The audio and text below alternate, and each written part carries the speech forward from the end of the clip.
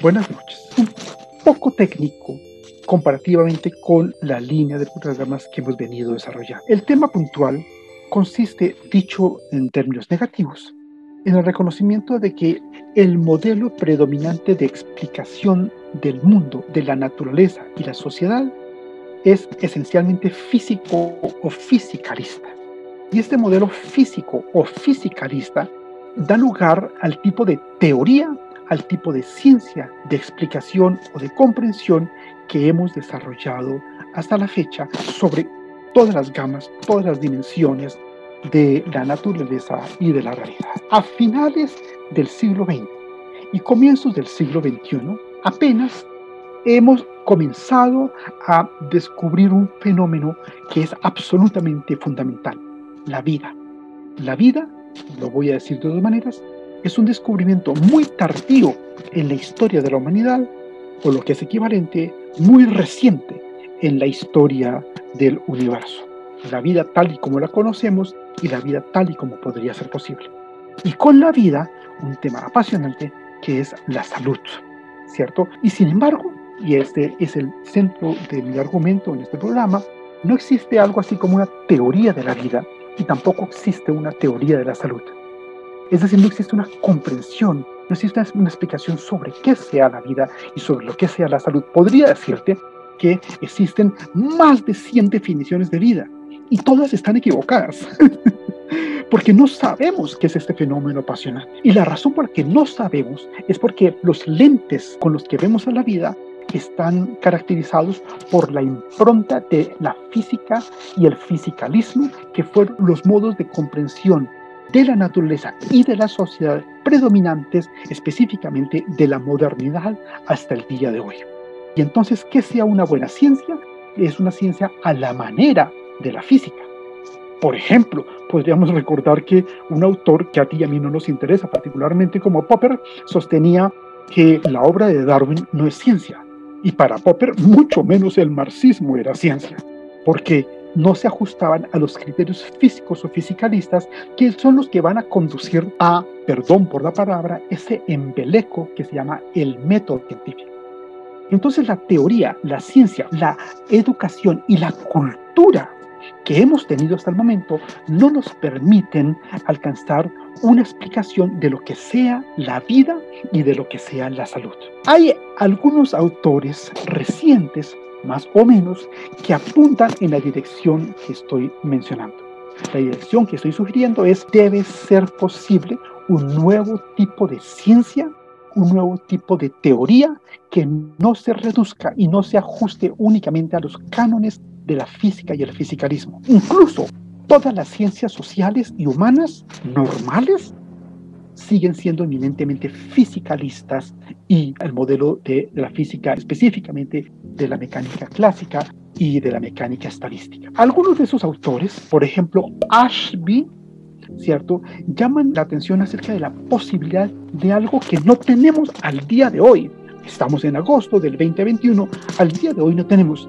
Y Ashby lo denominaba una teoría fundamental de procesos, pensar la naturaleza, pensar la vida, pensar la salud es mucho más que pensar en estado, el estado de la economía, el estado del paciente, el estado de la cuestión y así sucesivamente.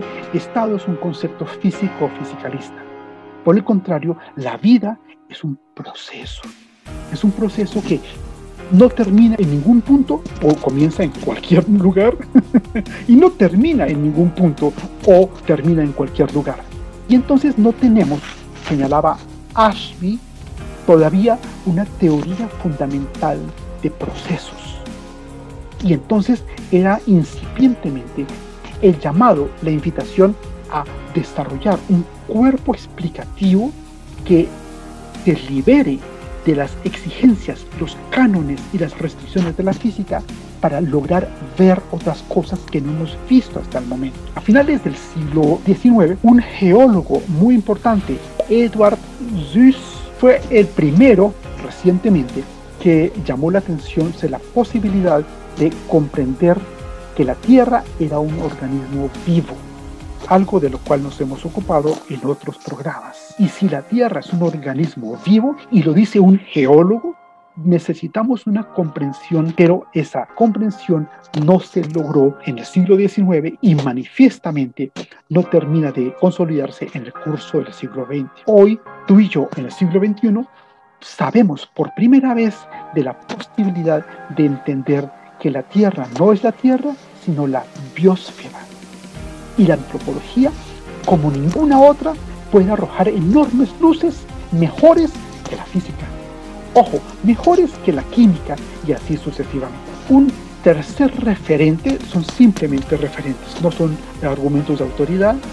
Es una bióloga importante que se llama Lynn Margulis, acerca de la sugerencia, de esto nos vamos a ocupar de manera puntual en el siguiente programa, de las relaciones entre homeostasis y homeoresis, que son las dos grandes dimensiones que nos permiten entender distintas a la física la posibilidad de pensar los sistemas vivos, los sistemas orgánicos y entonces, con esto quisiera terminar, la sugerencia muy importante según la cual podemos liberarnos de Occidente.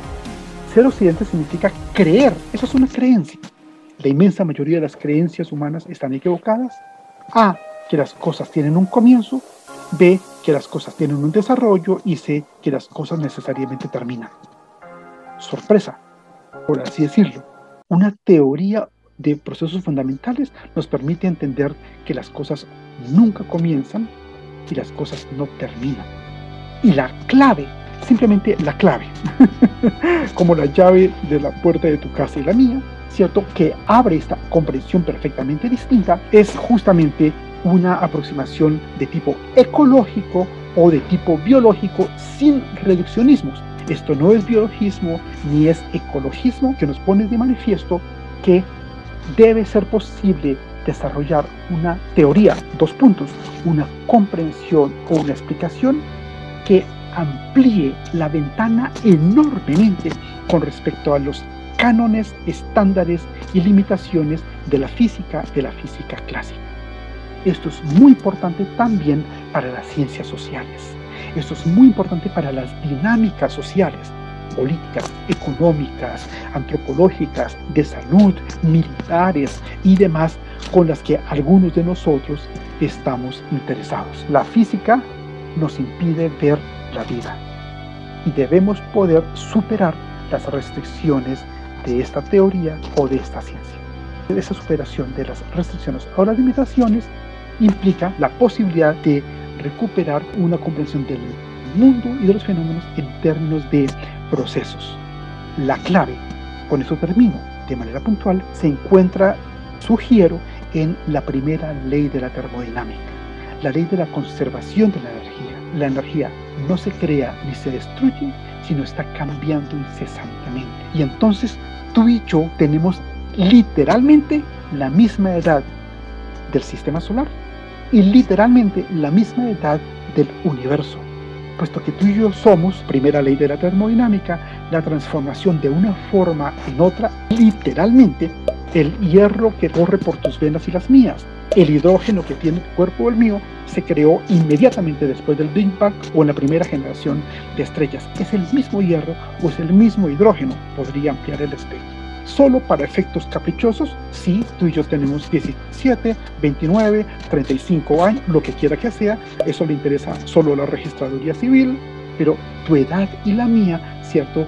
Comienza caprichosamente con tu papá o el mío y entonces podemos alcanzar una comprensión del mundo en el que las cosas no comienzan, cosas no terminan.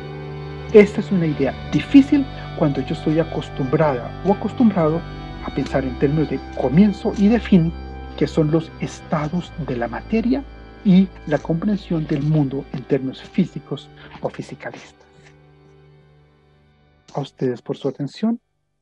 Muchas gracias. Buenos días. Buenas noches.